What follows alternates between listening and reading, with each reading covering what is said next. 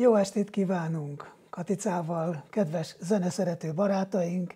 Elérkeztünk karácsonynak tényleg az előszobájába, december 22-e van 2020-ban, és itt ülünk a nagyszobánkban, és emelkedett lélekkel igyekszünk azt a sok-sok gyönyörűséges hangot, amit nagy zeneszerzők megírtak, előttünk talán sok száz évvel, új életre kelteni, hozzátenni szívünk, lelkünk lelkesedését, örömét, a kifejezést megfejteni és oda ajándékozni önöknek, meg természetesen a Jóistennek, hiszen mindent ajándékba kaptunk. Ilyen, ebből a szempontból tulajdonképpen mindig karácsony van, hiszen karácsonykor megkaptuk a legnagyobb ajándékot, hogy az Isten közénk szállt, és egy gyönyörűséges, de teljesen maga tehetetlen csecsemő képében, alakjában társunk lett itt a földi vándorlásunk során. Tehát ezt ünnepeljük, Jézus születésnapját. Két nap múlva az előestén elkezdjük, és aztán tart egészen karácsony nyolcadában, talán ezt is elmondom, hogy azért ez egy nyolc napos ünnep volt régen annak idején, de minden esetre tehát lélekben továbbra is meg lehet tartani mindazokat a szépségeket, amiket össze tudunk gyűjteni a karácsonyi kikapcsolódás, kicsit más lesz az életünk során, és ilyes formán most ehhez szolgáltatunk olyan szép zenéket, amik minket tartós rácsodálkozásra késztetnek.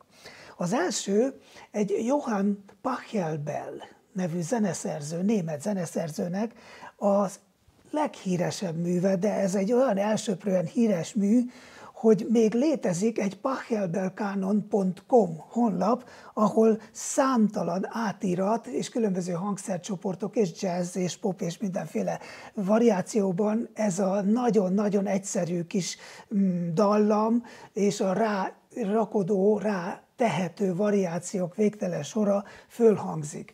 No hát minden esetre mi most találtunk egy kottát, meg nem mondjuk, hogy ki írta át így zongora, két zongorára, de hálásak vagyunk neki, mert nekünk ez tetszik, és mi itt a lényeg, hogy ezt 1680 környékén írta, tehát élete teljében az amúgy 1653-ban született és 1706-ig élt német zeneszerző, és egy állandó, kétütemes basszus lépés sorról van szó, ahol ugye nyolc negyed teszi ki ezt a kétütemet, és ezek ismétlődnek, fölötte persze mindig más jön, körülötte, alatta, indák és kacsok és gyönyörűséges zenei fűzérek, tulajdonképpen kimeríthetetlen lehetőségek tárháza.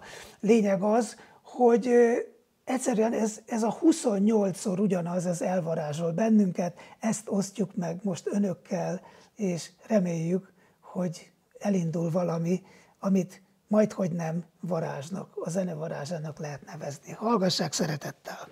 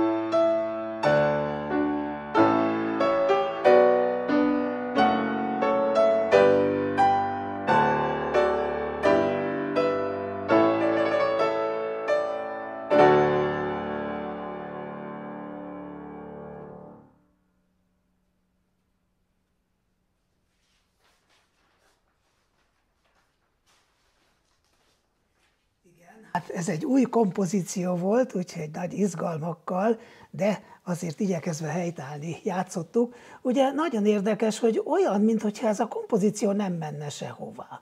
Valójában megy, az első ütem, így formailag megy a második ütem egyére, és aztán le is zár, de mégiscsak ez az állandóságot, olyan, mintha az örök boldogságot akarná festeni, nincs benne dráma, hát a végére mi csináltuk ezt a nagy fölhangosítást, de igazából lehetne éppen el is halkítani. Ez egy ilyen abszolút zene.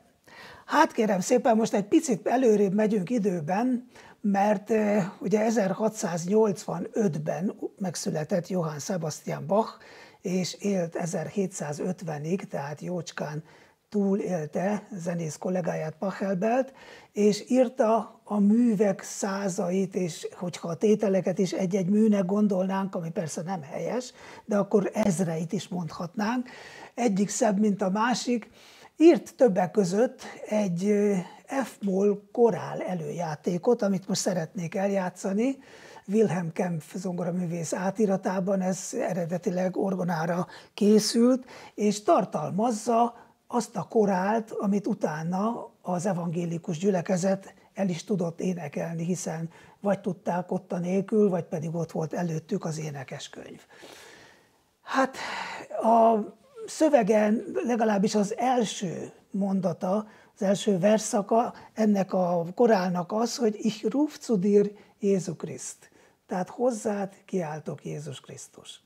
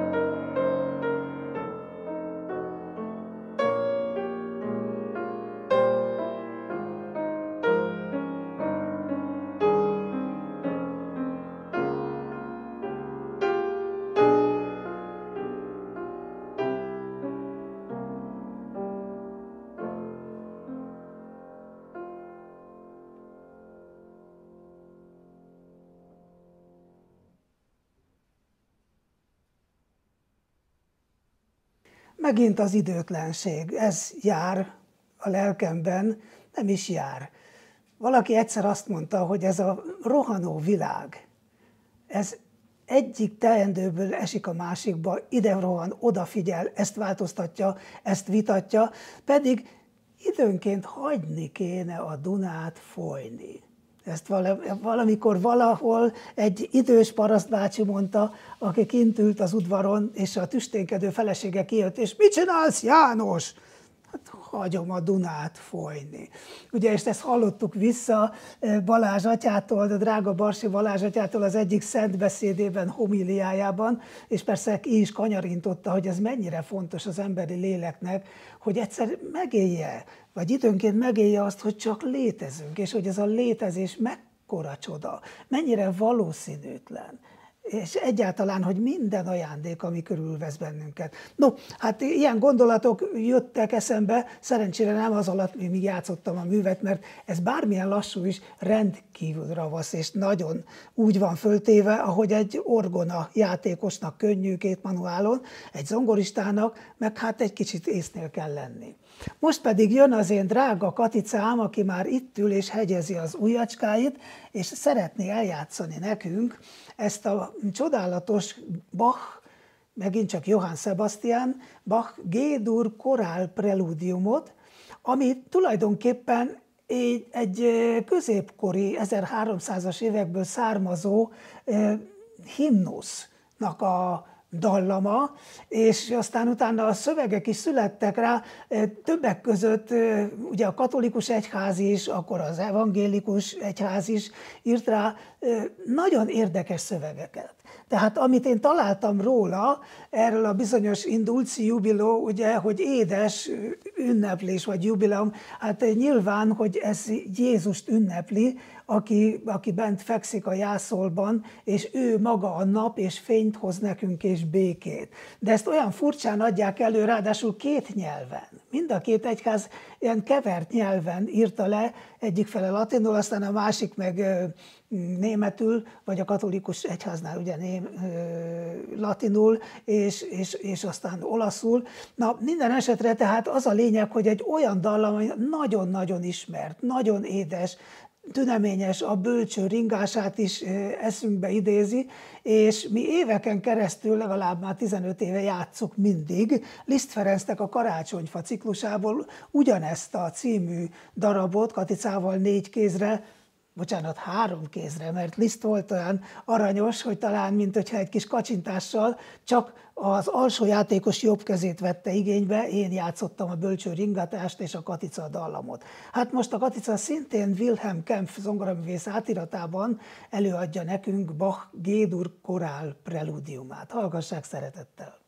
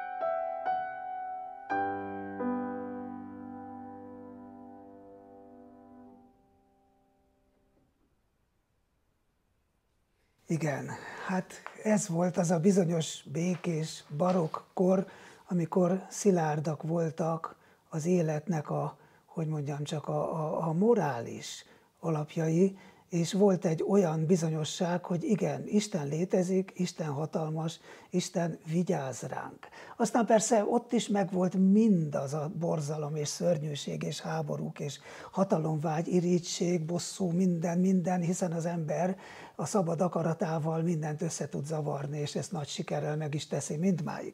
De ennek ellenére ez, ez egy ilyen, mégiscsak egyfajta boldog érája volt a művészetnek, csak hogy, csak hogy elkezdtek mozgolódni azok a mm, lelki folyamatok, amik elkezdték a klasszikus zenei stílus kibontását.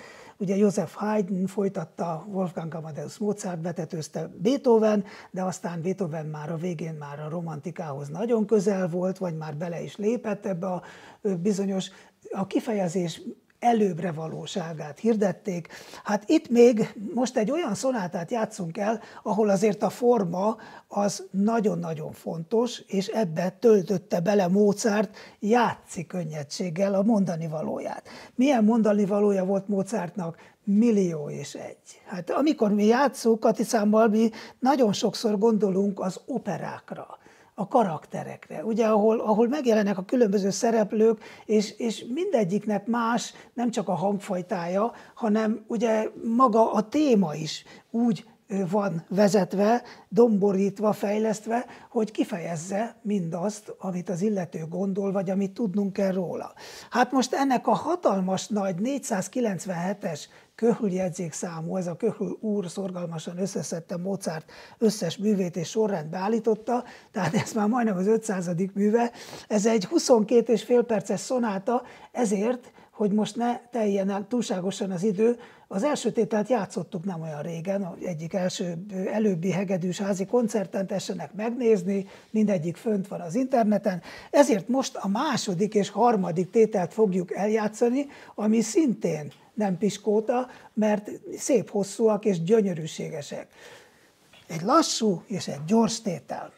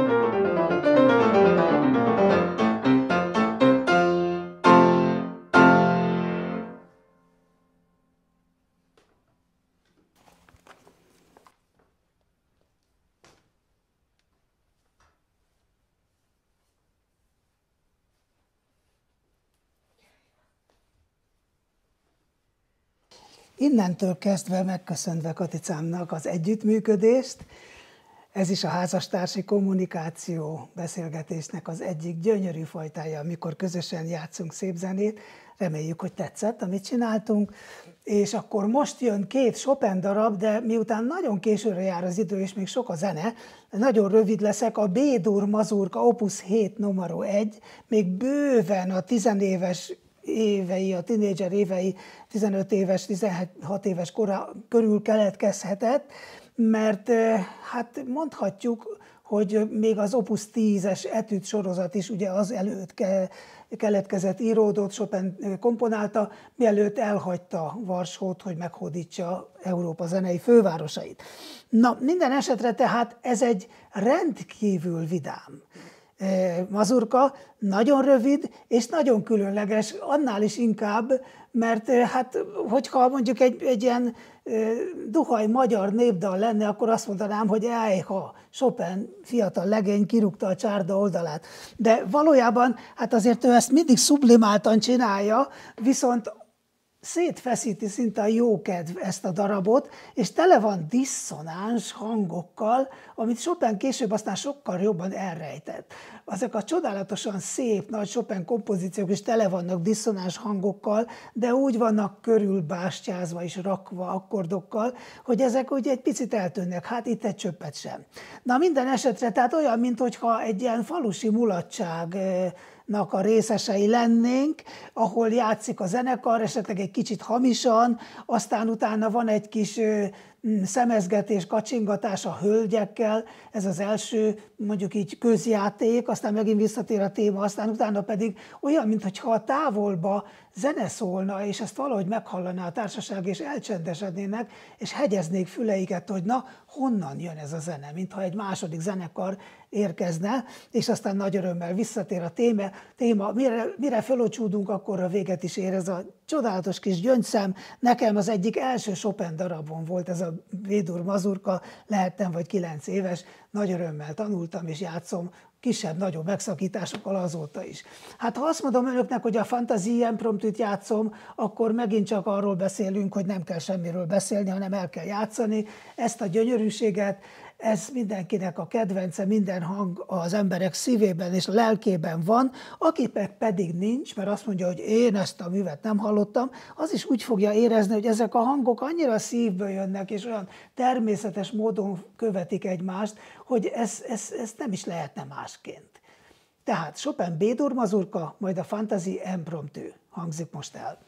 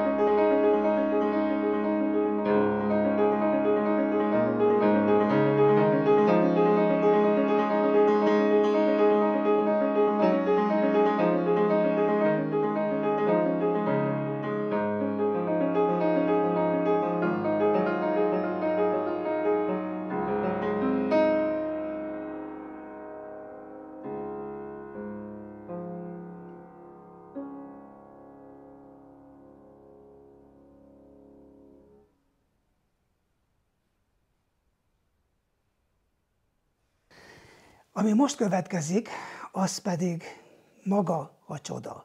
Eddigiek is csodálatosak voltak, de számomra az egyik legnagyobb zongoramű a Hámol szonátával együtt, a Chopini Hámol szonátával, de a Liszti Hámol szonátával együtt, Lisztnek egy másik kompozíciója az Isten áldása a magányban.